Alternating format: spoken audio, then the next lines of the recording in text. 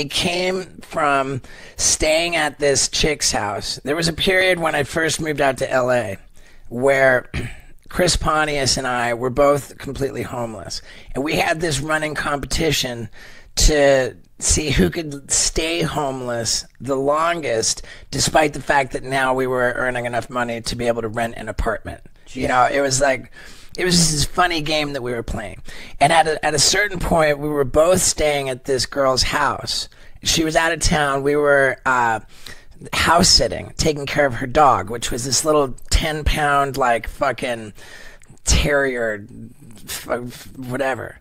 And so Chris and I come back from the bar with these two chicks. We're in this girl's place, and we're, we both in separate rooms are humping these these Danish chicks. Right? They were both from Denmark, and uh, as per usual, I had this little habit where I took off my soiled condom and like would tie it in a knot and like you know, I would like swirl it around, be like, "Woo, yeah!" You know, and I'd throw it right. Like, so I did that in in, in this girl's house. I threw my tied in a knot rubber, threw it, and then I'm whatever. At the time, I was smoking cigarettes, I'm smoking a cigarette, and I remember seeing the little ten pound dog coming running into the room, and it runs out of the room, and I'm like, oh, okay, you know, that's uh.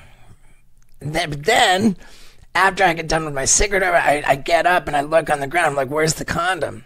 Like, it's not here. And I'm, and I'm thinking, oh no. So, in my view, this is the worst because the girl whose house we were staying at had a boyfriend, you know?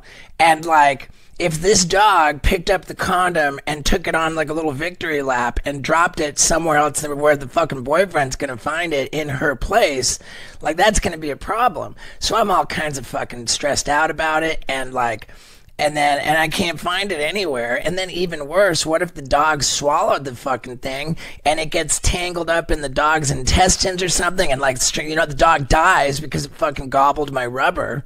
So I was like, the rest of the time at this girl's house, I'm like walking the dog. I'm like, you know, like checking every, you know, when the dog poops. I think, I forget how long it was. It wasn't too long, but I woke up from a crazy drug bender at like fucking six and six p.m. or something, and right next to the bed I was sleeping in is this piece of fucking dog poop, which just morphed into my rubber. You know, it was like it was like half log and half. Ri- yeah, and and and like I and I grabbed my camera and fucking. uh I grabbed my camera and, and lifted it up by the ring of the rubber, and it, the the rubber gets like all straightened out, and at once it re- once it's fully straight, the the piece of dog poo is just sticking out perpendicular in the middle, you know, and you can see the whole load Disgusting. of cum was was intact in the you know after passing through the whole dog yeah. that whole the whole load was just perfectly intact in the rubber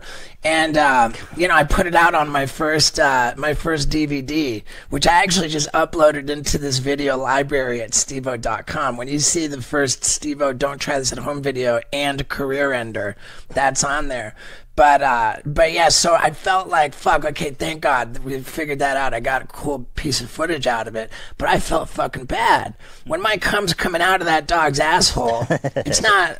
It's not a lot different than the dog being sodomized by me.